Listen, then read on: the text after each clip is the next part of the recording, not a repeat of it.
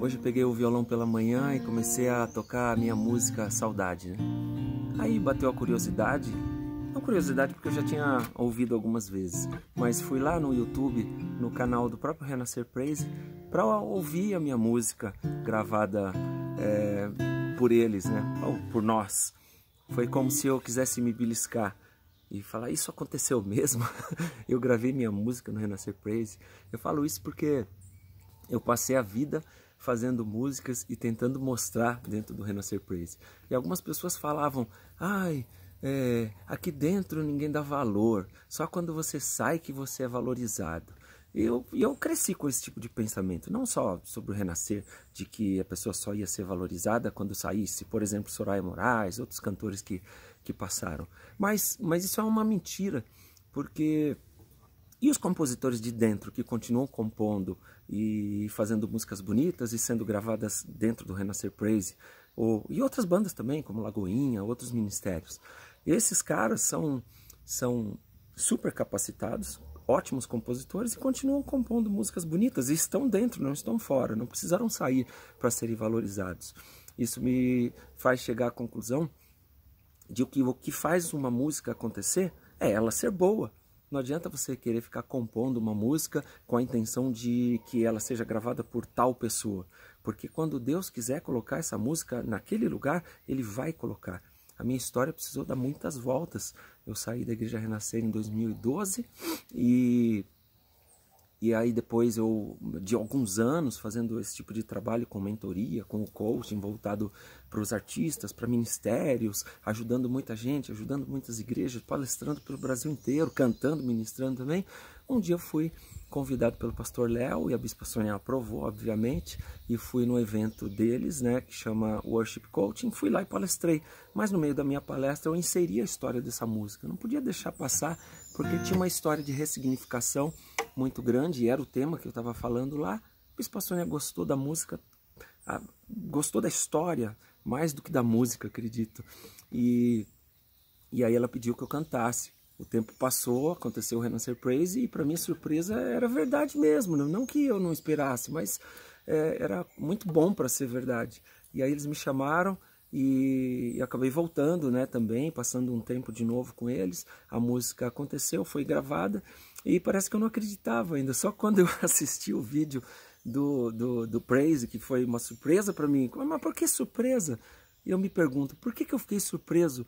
É, de ter sido convidado para palestrar lá, se Deus já tinha usado minha mãe para falar, a próxima vez que você voltar naquele lugar vai ser com o microfone na mão. Eu voltei palestrando e aí é, ela gostou da a Bispa Sônia gostou da música, eu fui lá, gravei a música. E por que, meu, por que a surpresa? Né? E depois a música aconteceu e foi lançada. Por que a surpresa? Deus faz o que quer, com quem quer e na hora que quer, quando bem entender, do jeito que bem entender. E Deus é, tanto endurece o coração, como fez com o coração de Faraó, quanto amolece o coração e faz a gente se apaixonar. A música, ela tem que ser boa, ela tem que ter história. Então você que tem um sonho de compor, de cantar, ou ter o seu CD da tua banda e tal, pensa nisso que eu estou falando. Uma boa música tem uma boa história. Agora, eu me surpreendo por ter me surpreendido. Isso faz com que a gente perceba que às vezes a gente não tem a fé necessária e a confiança que Deus espera que a gente tenha dele, não é? A gente precisa confiar plenamente dele, sabendo que o sim e o não é, são dele e que o tempo certo é o tempo dele. Não, às vezes demora um pouquinho, às vezes as coisas não acontecem como você é, imagina e, e às vezes você acaba fazendo é, como Jacó, né, brigando com o anjo, querendo segurar ali, segurar para a bênção, mas é no tempo certo. Não é? Você tem que realmente correr atrás daquilo que é teu, da tua bênção, nem que você tome uma bordoada ali e saia mancando, mas, mas o, o que tem para acontecer na tua vida, o que é para acontecer e o que Deus escreveu para você vai acontecer. É, é, é preciso que você tome a decisão. Simplesmente ter uma história é, não vai fazer você compor uma música. Você tem que ir lá e se, e se capacitar, aprender a compor, ler muito. Tenho um outro vídeo falando bastante sobre isso, né? Essa música, é, ela tá num outro tom aqui e eu não, o violão tá num outro tom, não, não, não vou conseguir cantar aqui, não é? É. Me aceita, me toca, minha vida renova. Eu te ofereço minha vida em louvor de hoje para sempre.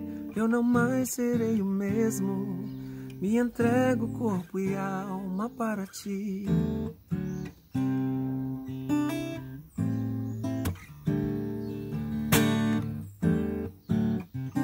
Agora me achei aqui. Espero que você tenha gostado desse vídeo. Foi muito espontâneo. Acabei de ter essa experiência e estava ali super emocionado. Peguei o violão, peguei a câmera e vim para cá para colocar essa história para você. Não pense jamais que você é pequeno demais para ter uma história bonita.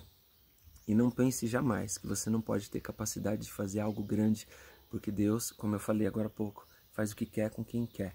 Acabei de ver a história de Daniel ali no, no Instagram eu estava zapeando ali, veio um pedaço da novela do, do, da Record e mostrando a história de Daniel, é, revelando ali os dizeres e tal, não é?